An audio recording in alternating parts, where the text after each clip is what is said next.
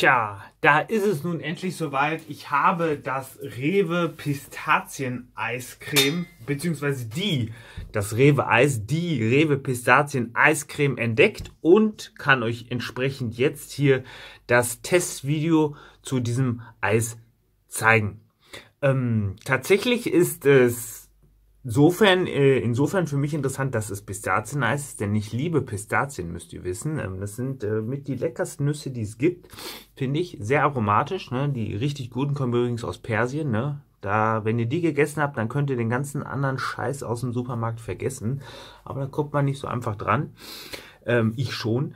Und ähm, Deswegen Pistazien großartig. Schön geröstet zum Knabbern halt, ne? Oder auch als Süßspeisen verarbeitet. Ich mal gucken, was hatten wir da neulich? Muss mal schauen. Beim Pakistaner, das gibt es so aber auch in, äh, in Persien bzw. im Iran, ähm, folgende Leckerei besorgt. Sohan, vielleicht kennt ihr das. Das ist Kardamom, Safran und äh, Pistazien obendrauf. Das ist so eine Süßigkeit, ne? Das ist mit so, ich weiß gar nicht mehr, was war diese Hauptzutat? Kichererbsenmehl, glaube ich, oder so. Pflanzenöl, Rosenwasser, Weizenkeime und Zucker. Und dann aromatisiert mit den typischen Gewürzen. Göttliches Zeug, sage ich euch. Kostet eine Stange Geld, ähm, müsst ihr mal gucken. Muss nicht unbedingt aus dem Iran kommen, wobei es auch wirklich da am besten ist. Gibt es auch beim Pakistaner oder sowas. Müsst ihr einfach mal nachschauen. Ähm, kriegt ihr teilweise vielleicht auch in arabischen Lebensmittelgeschäften. Ja, hier steht das drauf, Sohan, so nennt sich das. Gut, ähm, nur, äh, das war jetzt quasi kleiner Exkurs Pistazie. Hier Pistazien-Eiscreme. Ich freue mich drauf. Fünf Zutaten nur was eigentlich schon mal ein Qualitätsmerkmal ist. Ne? Denn ähm, erstens, oder wir haben auch ein weiteres Qualitätsmerkmal, nämlich dass wir hier Eiscreme drin haben, sprich wir haben viel Fett aus Milch drin. Ne? Nur dann darf sich Eis auch Eiscreme nennen. Ich, ich vergesse immer wieder, wie viel das war. Ich glaube so 15, 16, 17, 18 Prozent muss Milchfett sein, damit es Eiscreme heißen darf. Sonst heißt es Eis oder Speise als Zubereitung oder sonst irgendwie was. Die fünf Zutaten können wir uns einmal angucken. Und ähm, warum wenig Zutaten Qualitätsmerkmal ist, sprich, wenn man dann Geschmack erzeugen möchte, dann, ähm, dann muss von dem, was drin ist, wirklich qualitativ, qualitativ hochwertiges drin sein. Ne? Viel wird mit Aromen, Stabilisatoren und so weiter gearbeitet. Und wenn wir jetzt aber hier so ein Pistazieneis haben, und wir werden gleich sehen, keine ähm, Aromen, muss man hoffen, dass viel oder gut qualitative Pistazie drin ist, die dann eben den Geschmack erzeugt. Ne? Und es ist auch allgemein schön, wenn man halt nicht immer ja, äh, unendlich viele andere Zusatzstoffe drin hat, wie Stabilisatoren und so weiter. Man sieht also erstaunlicherweise auch, dass es ohne geht, was fast schon verwunderlich ist, denn das Eis ist auch lange haltbar. Ja, oft haben, hat Eiscreme, gerade so Cremissimo, für die viele Luft, Stabilisatoren, damit die Luft eben im Eis bleibt. Ne? Hier ist das eben nicht so. Trotzdem haben wir einen relativ hohen Luftzuschlag Ah, so viel nicht, so nicht, nicht so wie bei Cremissimo, ne? Da hat man ungefähr äh, das Doppelte an Luft wie äh, Volumen. Hier haben wir aber auch schon einen doch deutlichen Zuwachs vom Volumen. Ne? Bei so einem Ben Jerry zum Beispiel hat auch fast 500 Milliliter, ne? Das hier hat 480 und Ben Jerry hat so 420 Gramm. Das hier hat nur 340 Gramm, also schon etwas mehr Luft drin, aber auch nicht so viel. Ne? Und die wichtigsten Zutaten sind dann jetzt aber hier, woraus wir dann eben dieses Eiscreme bekommen. Eingedickte entrahmte Milch, Sahne 25,5%, Zucker, Hühnereigelb, Pistazienmark. Zack. Die wesentlichen Zutaten für Eiscreme. So tatsächlich auch im Ben Jerry's Eisbuch. Da haben wir Zucker, wir haben Milch, wir haben Sahne, wir haben Eier. So ist die Basis auch im Ben Jerry's Eisbuch. Könnt ihr übrigens mal auf meiner Webseite gucken. Da gibt es ein Rezept für Ben Jerry's Cookie Dough Eis aus dem Ben Jerry's Rezeptbuch. Wo ich beim Thema Rewe feine Welt bin, möchte ich euch auch das hier zeigen. Entschuldigt bitte, dass das Glas etwas beschmiert aussieht. Das ist schon länger in Benutzung. Was ich euch extrem empfehlen kann, ist dieser Aufstrich. Sanfte Pistazie von Rewe. Extrem gut. Mit der Spekulatiuscreme, die es zu Weihnachten oft auch gibt und auch ähm, so eine Kekscreme und Kokoscreme von denen auch sehr geil. Aber die sanfte Pistazie ist der Shit überhaupt ist jetzt schon fast aufgegessen. Ihr seht, da ist viel Pistazie drin, aber auch ein bisschen Farbstoff, darf man nicht vergessen. Ähm, das Zeug ist genial. Morgens aufs Brötchen und so. Oh, ich meine, wenn ihr wollt, könnt ihr auch einfach einen Löffel reinstecken, aber das dürft ihr nicht zu oft machen. Das ist natürlich so eine Art Nutella, eine volle Kanne Fett, Zucker, Kalorien, aber sau, sau lecker. Und das intensivste Produkt mit Pistaziengeschmack, was ich kenne. Mit Abstand höchstens pure Pistazien. Wobei ich finde, diese Creme schmeckt nur mehr nach Pistazie als Pistazien. Aber die Süße unterstützt das vielleicht auch, ne? Hier gucken wir jetzt aber mal das Rewe Pistazien Eiscreme an. Hat, glaube ich, 3 Euro gekostet, der Becher. Ist preislich also eigentlich ganz okay. Ne? Besonders wenn man bedenkt, dass auf Aromen und so weiter verzichtet wird. Wobei, ich sage immer, ich habe inzwischen, ich sag mal, vor Jahren habe ich Aromen immer kritisiert. Ne? Ähm, inzwischen gibt es sie immer mehr. Gab es auch früher schon, keine Frage. Aber ich finde, ähm, wenn man halt gute Zutaten benutzt, braucht man keine Aromen. So, andererseits denke ich mir, wenn ich jetzt Eis kaufe und es soll nach Pistazie schmecken, dann möchte ich auch, dass es nach Pistazie schmeckt. Zur Not auch mit Aromen. Versteht ihr, was ich meine, ja? Also, äh, ich habe nicht unbedingt was dagegen, wenn es denn nützlich ist sage ich mal. Und dann darf es natürlich aber auch nicht teuer sein, denn wenn ein Eis sehr teuer ist, dann denke ich mir, da macht doch lieber hochwertige Zutaten rein, die den Geschmack erzeugen, statt Aromen. So, so viel dazu jedenfalls. Rewe Pistazieneis Ihr könnt es hier sehen. Nicht so grün wie die Schokocreme. Am Rand schon gut angetaut, denn ich habe es schon etwas antauen lassen. Jetzt muss ich mal eben kurz die Kamera umbauen und bin gleich wieder da. Die Draufsicht auf das Eis ist immer ein bisschen besser, wenn man die Kamera hochstellt. Ja, ich bin gespannt. Ähm, ich glaube, ich habe schon gesagt, 3 Euro ist in Ordnung. Kalorien kann man sehen, geht auch fast in Richtung Ben Jerry's. Woran liegt es? Wir haben viel Fett, aber auch erstaunlich wenig Kohlenhydrate. Ne, es ist nicht so viel Zucker drin, also nicht mit Zucker zugebombt. 22 Gramm Kohlenhydrate ist für Eis echt relativ wenig, das muss man sagen. So, ähm, ja, wir haben kein Stückchen, ne? Das wird sehr unspektakuläres Eis werden. Ne? Also man darf jetzt hier nicht irgendwie erwarten, dass man jetzt hier karamellisierte Pistazienstücke drin hat und so, denn das hier soll wohl wirklich quasi einfach nur Eiscreme sein, die den Fokus auf Pistaziengeschmack legt. So, und das werde ich jetzt ausprobieren.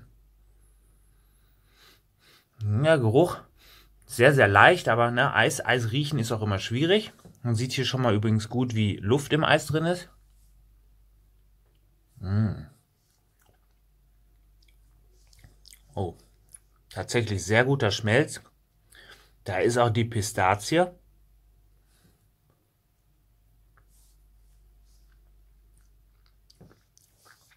Oh, lecker. Wirklich, trotzdem nicht so viel Kohlenhydrate drin ist, kommt es mir doch relativ süß vor. Der Schmelz, könnt ihr sehen, ist wirklich sehr, sehr gut. Es gefällt mir. Also, ich habe das auch schon etwas im Kühlschrank stehen gehabt, aber es ist so, es könnte noch weiter antauen, aber ich finde es so ehrlich gesagt optimal, ne? So kann man am, ich bin immer so einer, der so gerne am Rand lang probiert.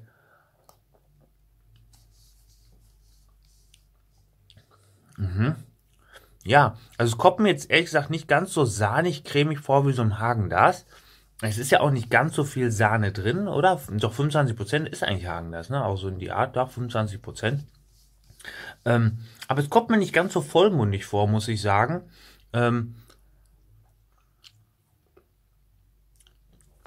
und was ich auch sagen muss, es schmeckt nicht so intensiv nach Pistazie. Ähm, ja.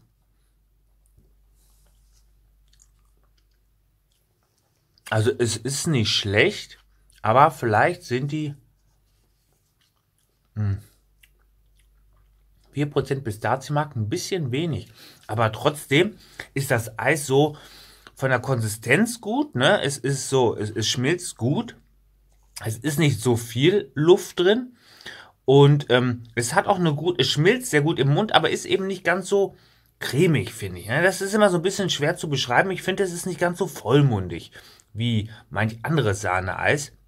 Aber was mir halt gefällt, ist es, ist, dass es mal ein Eis ist, was sich auf das Wesentliche konzentriert. Ich kann das Video jetzt eigentlich abbrechen, denn mehr habe ich euch nicht zu zeigen. Eis. Da wird nichts drin sein. Das ist aber auch keine Kritik, ne? Auf keinen Fall. Denn es ist wichtig, und ich lese das immer wieder, wenn ich auf Foodbox unterwegs bin, bei Instagram und dann Bewertungen lese. Man muss bewerten Sachen. Da bin ich übrigens auch sehr gespannt auf eure Meinung dazu. Da lasst uns doch bitte mal in den Kommentaren darüber diskutieren.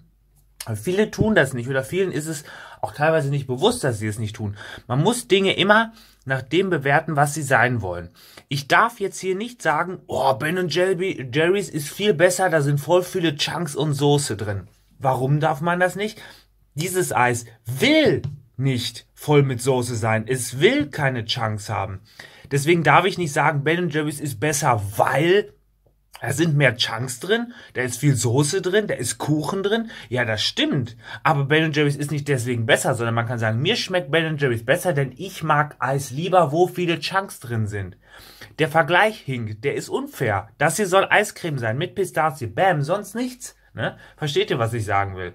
Und das ist wirklich immer so eine Sache, über die ich mich regelmäßig aufrege, weil teilweise unreflektiert Sachen einfach nur in den Raum geworfen werden, um zu bashen oder einfach nur um rumzukacken. Aber die Leute vergleichen nicht fair und das ist nicht richtig. Hm? Was ich euch aber fairerweise sagen kann, ist, dass ich dezent enttäuscht doch bin. Ich hätte mehr ähm, hm, Pistazie erwartet. Man muss zwar auch sagen, Pistazie ist nicht das intensivste von allen. Ne? So eine Haselnuss zum Beispiel schmeckt viel intensiver als Pistazien. Hm. Aber ich finde trotzdem, das hier müsste mehr nach Pistazie schmecken. Ähm, ja, ich weiß nicht. Habt ihr dieses Eis schon mal probiert? Dann sagt mir doch bitte, wie ihr den Pistaziengeschmack findet. Mir persönlich ist er etwas zu schwach. Hm. Trotzdem gefällt mir das Eis gut. Der Preis ist vor allem in Ordnung. Aber was nützt einem das alles, wenn es eben nicht das ist, was draufsteht, nämlich Pistazien-Eiscreme? Weil eben der Geschmack nach Pistazie meiner Meinung nach einfach zu dezent ist. Deswegen ich diesem Eis eigentlich höchstens ein befriedigend oder ein befriedigend Minus geben kann. Warum nicht nur ein ausreichend? Ja, weil der Preis ist in Ordnung, die Konsistenz ist gut, die Zutaten sind sehr, sehr gut, wirklich nur das Wesentliche. Und ähm, Deswegen ist so mit der ausschlaggebende Faktor natürlich der Geschmack, der sollte am stärksten äh, wert, bewertet und der haut eigentlich auch die ganze Note runter, denn der Preis und die Zutaten sind eigentlich eine Eins. Ne? Aber es hapert eben am Pistaziengeschmack und deswegen geht's rapide nach unten auf eine 3 minus.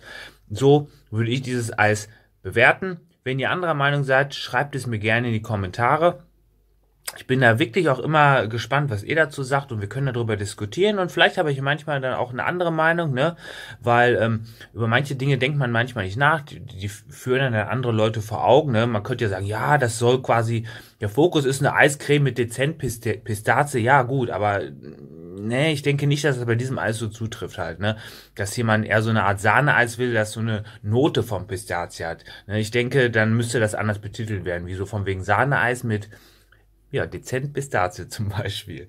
Ich danke euch sehr fürs Zusehen zu diesem Video.